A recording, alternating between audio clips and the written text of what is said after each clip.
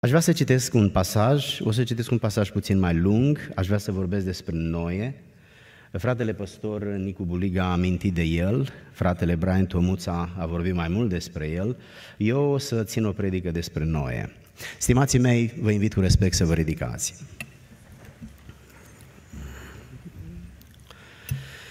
Geneza, capitolul 6, începem cu versetul 1.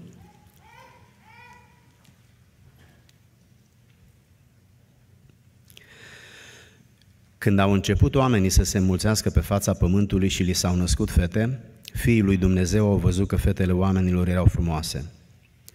Și din toate și-au ales de neveste pe acelea pe care și le-au ales. Atunci Domnul a zis, Duhul meu nu va rămâne pururi în om, căci și omul nu este decât carne păcătoasă. Totuși, zilele lui vor fi de 120 de ani. Uriașii erau pe pământ în vremurile acelea și chiar și după ce s-au împreunat fiii lui Dumnezeu cu fetele oamenilor și le-au născut ele copiii. Aceștia erau vitejii care au fost în vechime, oameni cu nume. Domnul a văzut că răutatea omului era mare pe pământ și că toate întocmirile gândurilor din inima lui erau îndreptate în fiecare zi numai spre rău. I-a părut rău Domnului că a făcut pe om pe pământ și s-a măhnit în inima lui. Și Domnul a zis, am să șterg de pe fața pământului pe omul pe care l-am făcut, de la om până la vite, până la târătoare și până la păsările cerului, căci îmi pare rău că i-am făcut. Dar noi a căpătat milă înaintea Domnului. Iată care sunt urmașii lui Noe. Noe era un om neprihănit și fără pată între cei din vremea lui. Noe umbla cu Dumnezeu. Noe a născut trei fii, Sem, Ham și Afet. Pământul era stricat înaintea lui Dumnezeu. Pământul era plin de silnicie. Dumnezeu s-a uitat spre pământ și iată că pământul era stricat, căci orice făptură își stricase calea pe pământ. Atunci Dumnezeu a zis lui Noe, sfârșitul oricărei făpturi este hotărât înaintea mea, fiindcă a umplut pământul de silnicie. Iată, am să inimicesc împreună cu pământul. Făți o corabie din lemn de gofer Corabia aceasta să o împarți în cămeruțe și să o tencuiești cu smoală pe dinăuntru și pe din afară. Iată cum să o faci. Corabia să aibă 300 de coți în lungime, 50 de coți în lățime și 30 de coți în înălțime. Să faci corăbie o fereastră, sus. Iată, lată de un cot, ușa să o pui în latura corăbiei. Și să faci un rând de cămări jos, altul la mijloc și altul sus. Și iată că eu am să fac să vină un potop de ape pe pământ, ca să nimicească orice făptură de sub cer, care are suflare de viață. Tot ce este pe pământ va pieri, dar cu tine fac un legământ. Să intri în corabie tu și fiii tăi, nevasta ta și nevestele fiilor tăi, împreună cu tine. Amin. Mulțumesc, dragii mei, vă invit cu respect să vă reașezați.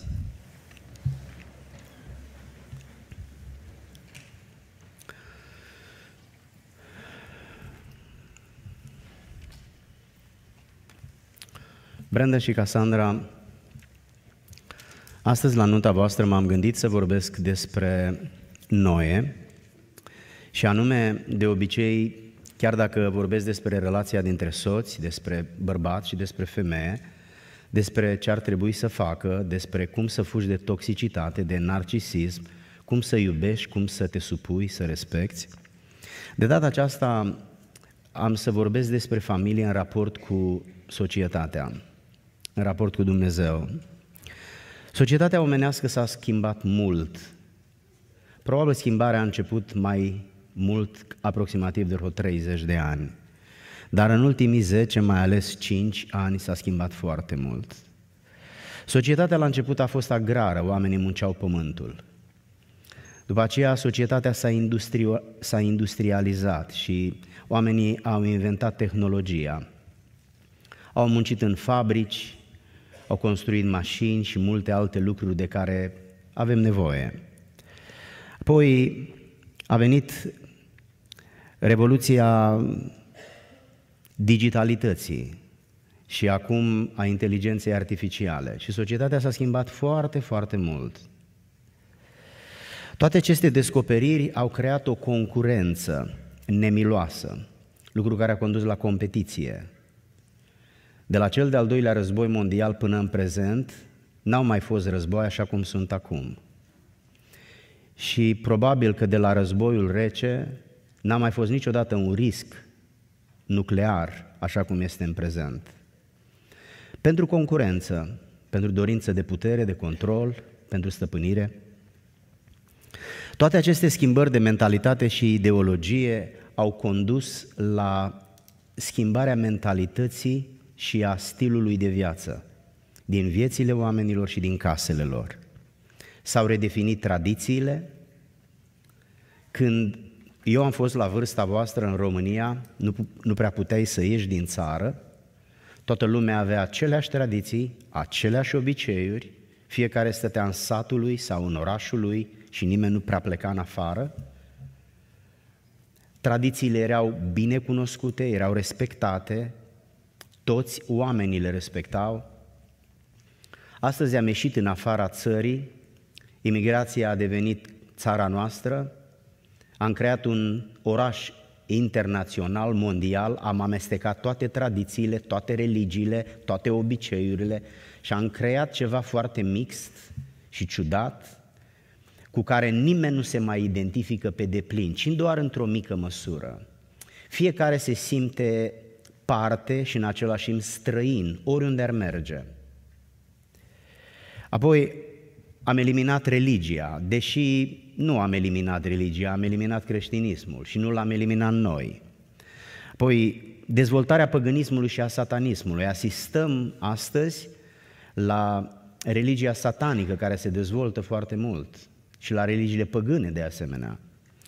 Și promovarea și legalizarea destrăbălării, crearea unui context social potrivit căsătoriei și familiei, nici vorbă.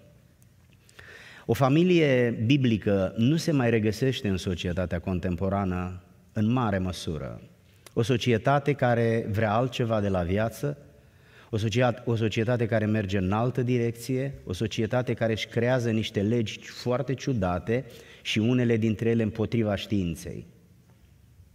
Este împotriva științei să spui că un copil la naștere nu știe ce gen este. Toți oamenii de știință știu că bărbații au creier de bărbat și femeile au creier de femeie. Nu numai organele intime sunt femeie și bărbătești, ci creierul este femeie și bărbătesc. Numai că datorită politicii ei nu pot spune nimic, pentru că asta știința este făcută de politic, nu de știință. Și în societatea aceasta apare pe scenă astăzi, 8 iunie 2024, o nouă familie. Familia Brendan și Cassandra Bujdei. Când părinții voștri s-au căsătorit, societatea era foarte altfel. Bunicii voștri când s-au căsătorit, era cu totul altfel. Voi astăzi intrați într-o societate care nu mai prețuiește familia, care nu mai promovează familia, care nu mai admiră familia și nimic din ce a produs creștinismul, nici pe stăpânul acestuia, pe Hristos. De aceea familia este dintr-un anumit punct de vedere, sub asediu. Am numit predica mea familia supraviețuitoare. După cum ați văzut, Dumnezeu s-a supărat pe oameni. S-a supărat pe oameni datorită infidelității lor, datorită lipsei lor de loialitate. Oamenii s-au îndrăgostit de ei și au creat narcisismul. Oamenii s-au îndrăgostit de Dumnezeii lor ireali, imaginari și au creat păgânismul. Oamenii s-au îndrăgostit unii de alții pentru o noapte, pentru două, pentru o săptămână și au creat destrăbălarea în formele ei diverse. Și astăzi noi suntem niște familii în acest context destul de neprimitor. Aș vrea să vorbesc puțin despre lucrurile acestea și să spun că toate aceste schimbări din sistemul social au provocat influențe foarte puternice, care au influențat mai mult sau mai puțin biserica, au influențat familia și au influențat oamenii. Așa se face că crescând nivelul de trai sau dorind să creștem nivelul de trai, oamenii muncesc mai mult decât e nevoie. Oamenii muncesc prea mult astăzi, Brendan și Cassandra, mult mai mult decât trebuie. Oamenii nu-și mai fac timp de odihnă, nu se mai bucură de ce au, nu-și mai fac timp de familie. Au devenit doar niște muncitori, niște oameni care aleargă fără oprire dintr-un loc în altul. Oamenii nu-și mai fac timp să gândească. Astăzi nu mai există gânditori. Nu numai atât, având intenția să se bucure de viață, de ceea ce produc, de familie, oamenii nu-și mai fac timp de viața lor spirituală. Am desfințat cămeruța, adică locul de acasă unde eu mă rog, unde citesc Biblia, nu doar la biserică. Aici este închinarea mea publică, dar eu am și o închinare privată acasă. Aia s-a desfințat pentru foarte mulți creștini. Oamenii nu mai au timp, ei sunt bine intenționați, dar nu mai au timp și nu au pentru că nu-și fac. Ziua tot 24 de ore are. Ei bine, s-a renunțat în mare măsură la serviciile din timpul săptămânii. Chiar duminica, am foarte mulți creștini merg o singură dată la biserică. Dacă la lucru am merge cât mergem la biserică, probabil că ar trebui să ne împrumutăm pentru ca să avem pâine și apă. Accentuăm foarte mult munca și suntem tentați să accentuăm foarte puțin biserica. Accentuăm foarte mult divertismentul și uităm că în casa noastră există un loc unde Dumnezeu ne așteaptă în fiecare dimineață. Ne așteaptă ca să ne întâlnim cu El și să ne spună ce ar trebui să ne aducem aminte. Ne așteaptă ca să asculte închinarea pe care noi o ascundem în sufletul nostru. În contextul acesta, voi veți deveni în câteva clipe o familie între familiile de pe pământ, o familie creștină, care trebuie să supraviețuiască. Trebuie să supraviețuiți în ciuda LGBTQ. Trebuie să supraviețuiți în ciuda politicii, hai să spun, democratice. Trebuie să supraviețuiți în ciuda la absolut orice adversitate și orice determinare. Trebuie să supraviețuiți. Noe a fost într-o astfel de societate. Dumnezeu s-a supărat pe societate, dar nu s-a supărat pe cei care l-au respectat. Biblia ne spune că Noe era un om neprihănit. Este în contrast cu ceea ce spune Dumnezeu despre societate. Toți făceau răul, dar toți. Între ei era un om care avea alte priorități, alte convingeri, un alt stil de viață. Și pe omul acesta îl chema Noe. Și ceea ce făcea el îi dătea calitatea de om neprihănit. Nu doar om înalt, nu doar om tânăr sau bătrân sau mărunt sau toate adjectivele de pe fața pământului. Biblia ne spune despre el atât. Era neprihănit, de parcă nimic nu mai contează decât neprihănirea.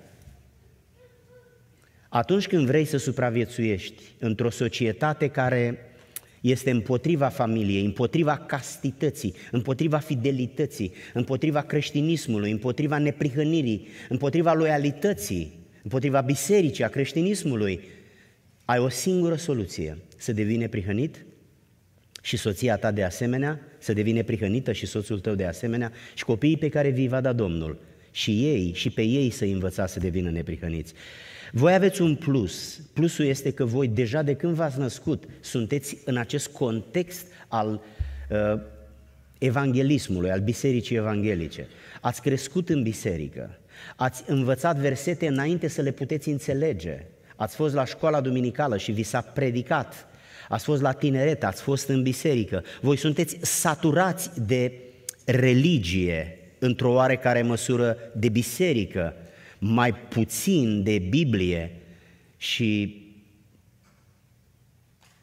probabil că cât trebuie de neprihănire. Acum voi vă puneți împreună. Până acum ați dormit fiecare cu părinții voștri. Mami a fost specială, tati la fel, frații, surorile. Ați, ai observat că nu puteau să cânte datorită emoțiilor. Așa suntem noi oameni, suntem ființe sociale, dar suntem ființe emoționale. Ei bine, acum totul va rămâne în spate. Absolut tot. Rămân doar familia de origine. Tu trebuie să te separi. Nu, nu trebuie să te izolezi. Brandon, Cassandra, nu trebuie să vă izolați, dar trebuie să vă separați. Și amândoi să faceți o casă, așa cum au făcut tati și mamei. O casă a voastră, O casă așa cum credeți voi că e mai bine. Voi veniți cu niște experiențe de copii uh, formate în familiile voastre. Voi aveți în minte imaginea lui tati și a lui mami. Soț și soție. Aveți în minte viața spirituală a bisericii. Acum intrați în familie cu tot ce știți voi despre familie și o să vedeți că foarte multe lucruri nu se potrivesc. Voi probabil credeți că o să formați o familie perfectă. Ne-am dorit să se întâmple, dar nu, o să faceți doar o familie, nu va fi perfectă. S-ar putea să faceți o familie excelentă, superbă, dar nu va fi ideală, neprihănită, în sensul de absolută.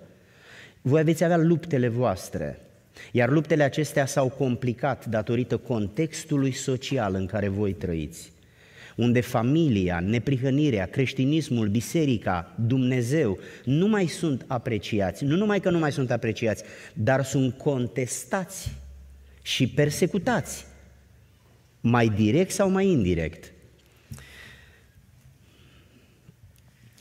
Am citit în Scriptură despre stilul păcătos de viață al societății din vremea lui Noe și prin contrast despre neprihănirea lui Noe și a familiei lui. De asemenea, am citit despre faptul că viața neprihănită a oamenilor sociali, firești, păcătoși, au atras blestemul lui Dumnezeu și Dumnezeu i-a necat pe toți. Pot să spun, Dumnezeu i-a omorât. Dumnezeu i-a omorât pe toți. Pentru că plata păcatului este moartea. În societatea noastră există o tendință exagerată pentru cosmeticizare. Să vorbim cu mare grijă, să nu supărăm pisicuțele, căței, mare, mare grijă. Biblia se ocupă de adevăr, nu de cosmeticizare și spune că Dumnezeu i-a omorât, a trimis o apă foarte mare peste ei și i-a înnecat. A scăpat o singură familie, familia unui om neprihănit. Brandon, Cassandra, o să vă doriți să deveniți frumoși, bogați, inteligenți, ă, deosebiți, foarte multe adjective. Dar țineți minte, dacă vreți să supraviețuiți, trebuie să deveniți neprihăniți. Trebuie să rămâneți neprihăniți. Trebuie să stați neprihăniți. Brandon, nu mai, nu mai ești sub autoritatea lui tati, această voce puternică, acest bărbat impunător. Nu, acum tu ești bărbatul acela. Acum tu trebuie să-ți asumi lucrul acesta, Brendan. Nu mai ești un tânăr așa superficial, n-ai fost niciodată, eu nu te cunosc pe tine așa. Dar acum este rândul tău să fii un soț, un soț înaintea lui Dumnezeu, un soț cu valori biblice, un soț cu convingeri biblice și un soț cu priorități biblice. Dumnezeu așteaptă să faci asta, omule. Să fii un om neprihănit și să-ți conduci soția în această neprihănire, iar tu, Casandra, să fii un ajutor potrivit, să fii o femeie înțeleaptă, să nu intri în competiție cu soțul tău, ori de câte ori te vei certa cu el și te vei opune lui, vei aborda o atitudine masculină și îți vei pierde feminitatea. Dumnezeu a creat partenerul bărbatului, adică tovarășul de viață, femeia, ca pe o ființă foarte plăcută pentru bărbat. Și elementul cel mai plăcut este feminitatea, finețea, delicatețea, îmi permit să spun și senzualitatea. Când o femeie se luptă cu soțul ei, ea se masculinizează. Oh! Își pierde feminitatea, își pierde frumusețea aia pe care bărbatul o îmbrățișează, pe care o dorește să o întâlnească când ajunge acasă. Dacă nu vei rămâne feminină, o să fie greu să-ți atingi visul cu care ai copilărit și cu care ai tinerit. Tu trebuie să rămâi o femeie. În familia voastră nu trebuie să fie doi bărbați, e suficient unul. Învață să fii o femeie, nu un bărbat.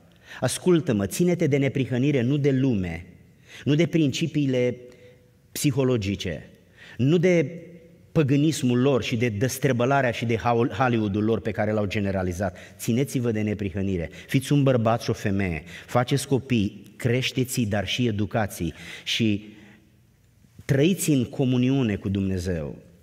Uitați cum, cum a trăit Noe. Noi a fost un om, pe lângă faptul că a fost neprihănit, el a fost diferit de ceilalți. El a avut o perspectivă spirituală, Dumnezeu a văzut, Dumnezeu l-a remarcat și Dumnezeu l-a ales. Noi a devenit un salvator, însă numai Hristos e salvatorul tuturor. El a fost doar salvatorul propriei lui familiei. Eu pot, nu pot să salvez lumea întreagă, eu nu sunt Hristos, dar eu pot să salvez familia mea. Pentru că eu trebuie să am influența asupra familiei mele, iar influența aceasta depinde de caracterul meu. Dacă eu nu mai am caracter, față de familia mea eu nu mai am nicio influență. Influență înseamnă conducere, iar conducere înseamnă influență. Când nu mai ai caracter, oamenii nu te mai admiră, nu te mai ascultă și nu, mai, nu se mai simt sub influența și sub conducerea ta. Dezvoltați-vă caracterul pentru ca să fiți, să fiți auzibili, să vă audă cei din jurul vostru. Uh, spun câteva lucruri despre misiunea supraviețuitorului și mă opresc. Dumnezeu a spus lui Noe, făți o corabie, adică făți o casă pentru familia ta. Vine apa și casa trebuie să fie plutitoare. Nu mai e pământ. Făți o casă pentru apă. Brendan, indiferent ce se întâmplă în lumea asta, te rog, ocupă-te de casa ta în primul rând. Nu de biserică în primul rând, de biserică în al doilea rând. În primul rând, ocupă-te de casa ta. Dumnezeu a spus prima oară lui Noe, fă o corabie. În primul rând, pentru tine. Corabia asta te va ajuta să supraviețuiești. Investiți în casa voastră, dragii mei, nu în impresii, nu în haine și în poșete cât o mașină. Nu vreau neapărat să cad în extrema să vorbesc despre țoale, despre haine.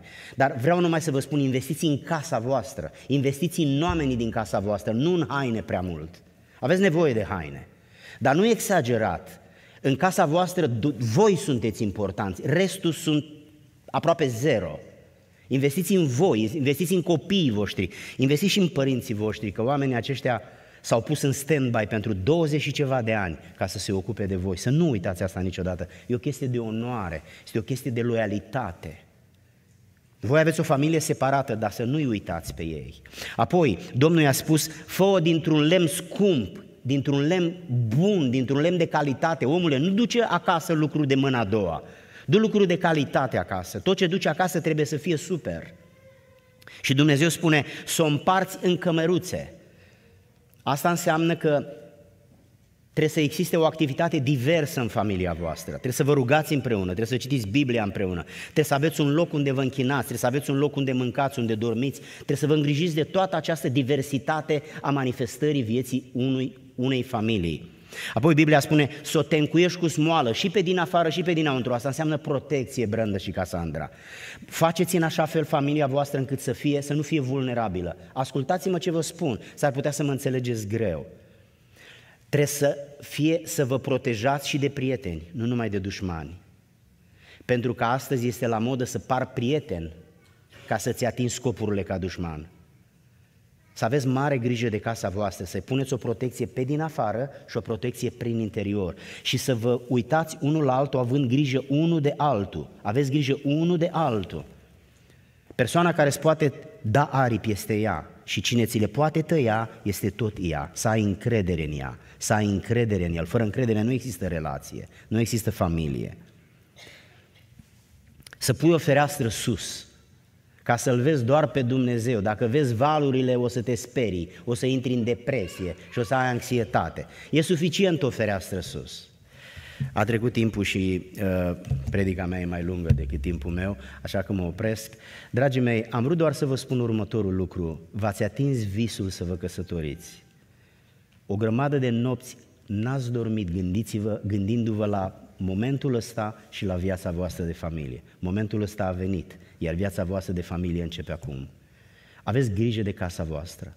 Luați tot ce a fost bun în familiile creștine ale acestor oameni în care v-au pus Dumnezeu.